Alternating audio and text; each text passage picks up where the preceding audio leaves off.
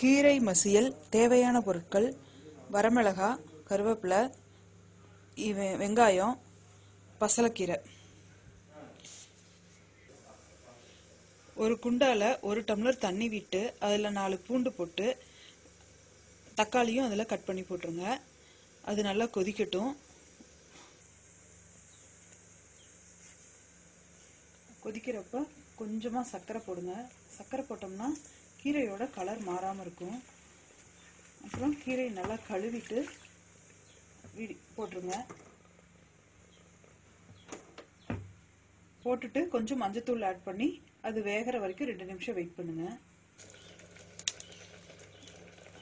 வடச்சட்டி அடுப்பில் வச்சு அதில் ரெண்டு ஸ்பூன் எண்ணெய் விட்டு அதில் சீரகம் சேர்த்துக்குங்க. கீரைக்கு சீரகம் சேர்த்துக்கும் போது நல்ல வாசனையாக இருக்கும். அது பொரிஞ்சு வரும்போது வரமிளகாய் சேர்த்துக்குங்க. அப்புறம் நறுக்கி வச்சிருக்கிற வெங்காயத்தை ஆட் பண்ணி நல்லா வதங்க விடுங்க.